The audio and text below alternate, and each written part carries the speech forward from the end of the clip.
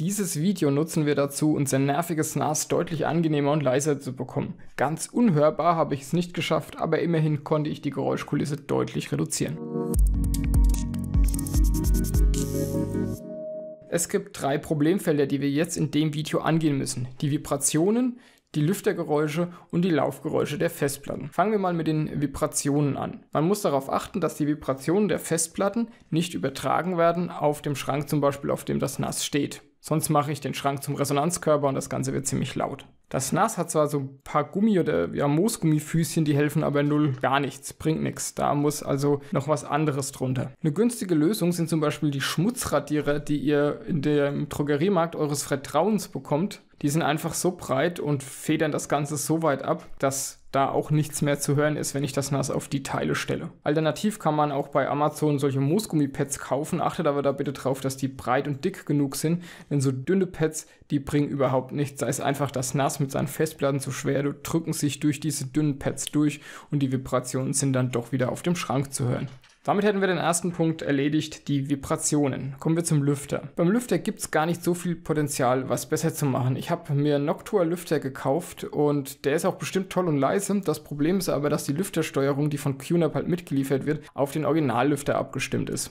Ich habe es also nicht hinbekommen, da eine vernünftige Lüftersteuerung einzustellen, die dann wirklich leiser gewesen wäre als der Originallüfter. Deshalb wäre meine Empfehlung, den Originallüfter tatsächlich zu verwenden. Der war bei mir zumindest nicht besonders laut und ist halt am besten ja, auf diese Lüfterregelung ausgelegt. Ein kleiner Tipp wäre noch, also was ich jetzt tatsächlich im Einsatz habe, ist, es gibt ein kleines Skript auf GitHub, das verlinke ich euch natürlich. Das muss dann vielleicht für euer NAS ein bisschen angepasst werden, also ist ein bisschen für Experten gedacht, aber damit kann man die Lüftersteuerung noch feingranularer machen und auf seine Bedürfnisse anpassen. Meiner Meinung nach ist die Lüftersteuerung von QNAP viel zu aggressiv und dreht zu schnell hoch und geht gar nicht oder nur sehr langsam wieder nach unten, wenn das NAS abgekühlt ist und das kann man damit eben beheben. Kommen wir zum letzten Punkt und zwar den Laufgeräuschen der Festplatte. Ich habe einen Kallax von Ikea und ich habe so das Gefühl, dass halt die Geräusche vom, vom NAS einfach an den Wänden so ein bisschen sich ja aufschaukeln. Also das ist wie so eine kleine Schallkammer, kann man das so sagen? Oder ja, einfach, er, er erzeugt einfach Hall, dadurch, dass er halt von 1, 2, 3, 4 Seiten ja eine glatte Fläche hat und da drin sammeln sich dann so die Geräusche und geben sie ein bisschen lauter nach draußen. Ich habe das jetzt wahrscheinlich recht unprofessionell ausgedrückt, aber ich glaube, ihr wisst, was ich meine. Also den Effekt, den man halt auch im Badezimmer hat, da ist die Akustik ja auch nicht besonders toll. Jetzt hat aber der Kallax einen Vorteil. Da gibt es eine schöne Tür dazu.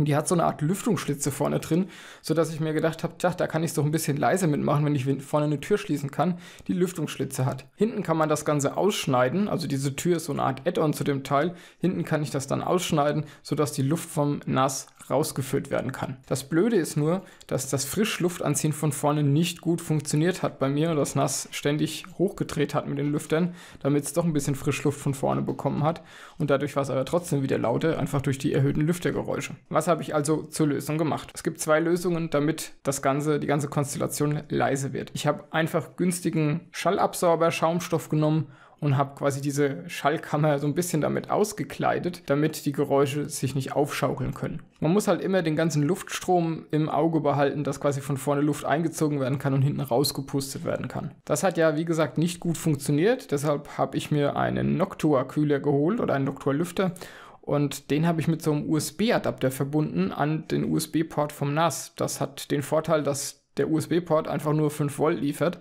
und damit ist dann auch sichergestellt, dass der Lüfter einfach immer in der geringsten Drehzahl dreht. Der Lüfter wird mit einem hohen Differentialdruck und den brauche ich, wenn ich keine freie Bahn habe für die Luft, sondern ja, was im Weg ist. Und das ist ja bei dem NAS tatsächlich der Fall. Da habe ich ja die Festplattenschächte im Weg und dagegen bläst er eben an und der Originallüfter vom NAS pustet dann hinten die Luft wieder raus. Ja, das ist jetzt mein Setup. Also den Kallax schallgedämmt von innen, vorne noch ein Lüfter drauf, der halt den Luftstrom ja aufrecht erhält. Hinten das Ganze nochmal aufgeschnitten und hinten an der Wand, wo das Ganze rauskommt, da wär, kommt ja dann der meiste Schall raus, auch vom Lüfter zum Beispiel, habe ich auch nochmal dafür gesorgt mit den Schallabsorbern oder mit dem Schaumstoff, dass eben nicht an der Wand dann zum Beispiel der Schall sich wieder aufschaukeln kann. Unhörbar kriegt man es damit nicht. Also ich höre das immer noch laufen hier neben mir, aber es ist deutlich gedämpfter, leiser und die Laufgeräusche sind deutlich ja, ruhiger oder angenehmer geworden durch diese Modifikationen. Wenn ihr noch Tipps habt, wie man das Ganze noch eleganter gestalten kann oder vielleicht wie ihr es gemacht habt, dann bitte in die Kommentare damit. Die ganzen verwendeten Materialien, die verlinke ich euch mal auf Amazon. Ich habe ja ein bisschen rumprobieren müssen, bis ich jetzt an dem Punkt war, dass ich so bekommen habe, wie es mir dann tatsächlich gefällt. Wenn euch das Thema NAS interessiert, dann könnt ihr gerne mal abonnieren oder auf meinem Kanal stöbern. Da werdet ihr noch weitere Videos zum Thema finden. Blende ich euch natürlich jetzt auch im Abspann ein.